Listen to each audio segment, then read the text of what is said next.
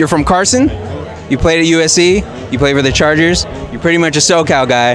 Uh, it- I mean, would you ever see yourself playing out of SoCal at some point? I mean, I'm, I'm not rushing you out of, out of LA, but but if, if the opportunity were to arrive, would you ever be open to playing somewhere else? I mean, I wouldn't say no. You know, being able to play in the NFL anywhere is a blessing. So anywhere I go, I'll be happy to be. And I, and I know the Chargers' first round pick is already making a, a have, there's a lot of buzz around him.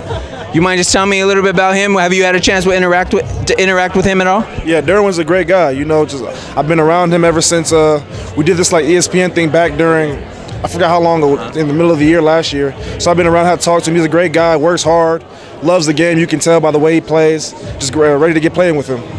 Uh, what, what are the expectations for the team overall? I know you guys have another year at StubHub, um, and how, how- are a lot of you guys looking forward to the new stadium?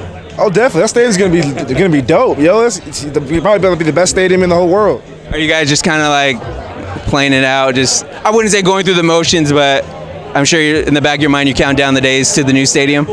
We, you know, it's there in the back of our heads. Of course, we're counting down. We can't wait to play in it. Um, and so again, what are the expectations for the Chargers this year? Philip Rivers is coming back. Seems like you guys have a lot of a lot of guys on the offense coming back. What are the expectations overall for you guys? Super Bowl, nothing else. You know, that's what our that's our expectations is. We were a great team last year. We got another chance to get better. What high school did you go to? Narbonne? Narbonne, yeah. Your, your time there and your time at USC, how do you think that helped prepare you to where you are now in the NFL? Prepare me well. You know, those are all elite coaches, both elite programs. So being able to play in those types of programs has really helped me out in my career.